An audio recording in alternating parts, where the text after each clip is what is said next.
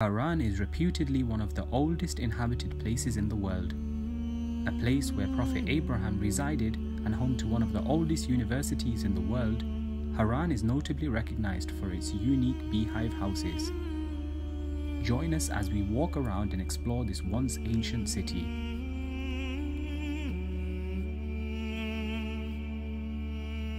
After exploring the city of Sanliurfa the day before, we decided to drive south to visit a place we'd been wanting to see for a long time.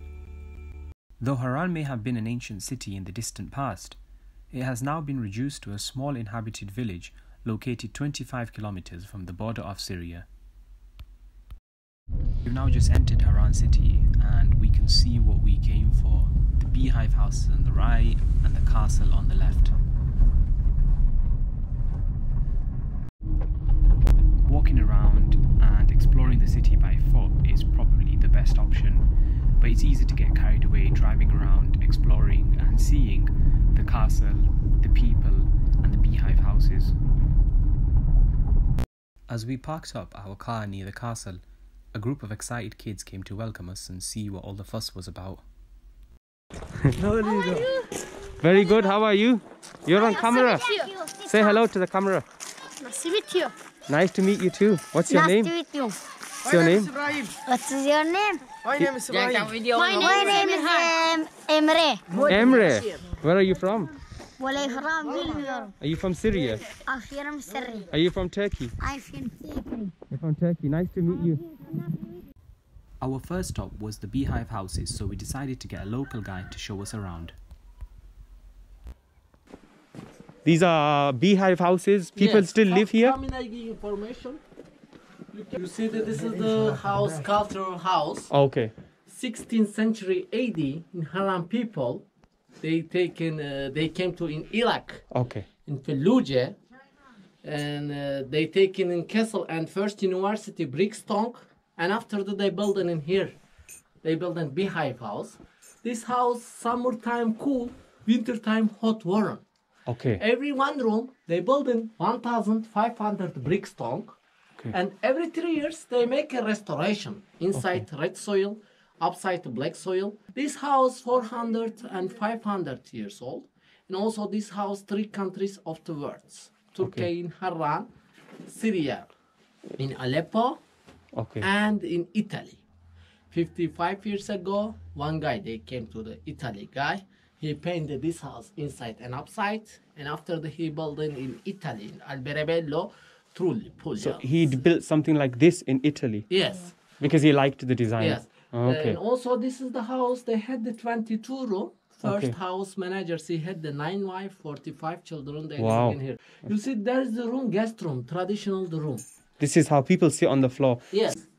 And what what are all these here? This is the coins. All the coins they find in here. Okay. Different civilization. You know, they came to in here some. Or they found here on the floor, maybe yes, for underground. In underground because Oh, uh, wow. rain in here a lot of winter time. When the rain, they find uh, all the underground. Different Okay. civilization. You know, Assyrian, Babylon, Byzantina, Wow. Roman. A lot of tourists they came to here. Uh, one day is 100, 200 bus. Guru. Wow, wow. Did did a lot of tourists come this this summer with the coronavirus? For uh, this summer, only European tourists they come. The first university of the world, The university's Yes. here. and uh, they had the near the university Prophet Abraham, the house. Oh, okay. Prophet Abraham. Yes, here. He here or, married in here, or in Harran city. in city. Harran in here. They meet in the first wife Sarah. Okay. A lot of Syrians here Yes, li- living here. a lot of a lot of Syrian. Our local guide then took us on a walk across a large field towards another historical site, whilst giving us information about the history of Harran. And also in Harran, seven different civilizations, seven different empires they came to here. Assyrian, Babylon, after the Babylon, Hittite, after the Hittite, Byzantine, Roman. After the Roman, they came to here, Islamic Empire.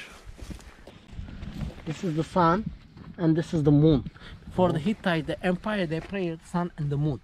For the Hittite, uh, the sun and moon same the gods for Oh, Hittite Empire. Uh, 639 AD, after the Caliph Omar, they came to here Umayyad.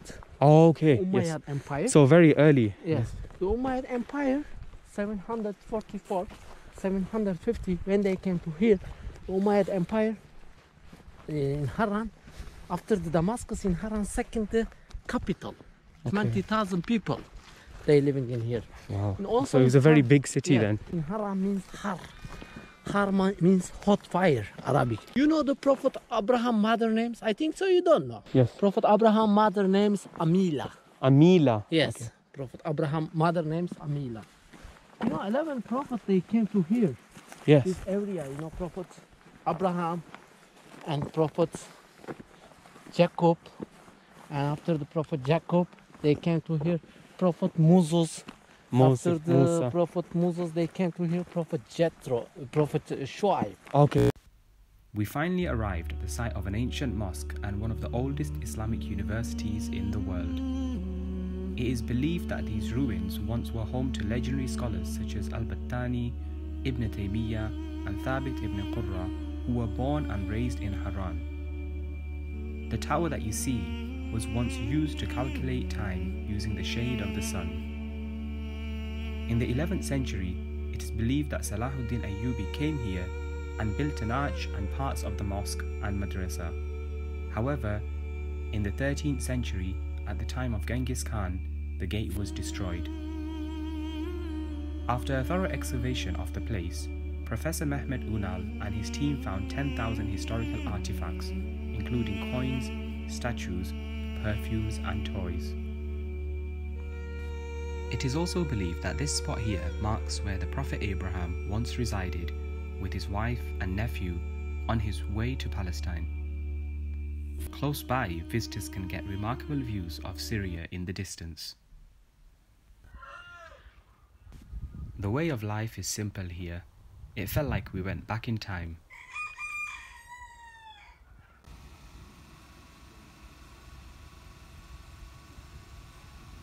Domestic camels and goats wander the streets whilst children herd sheep.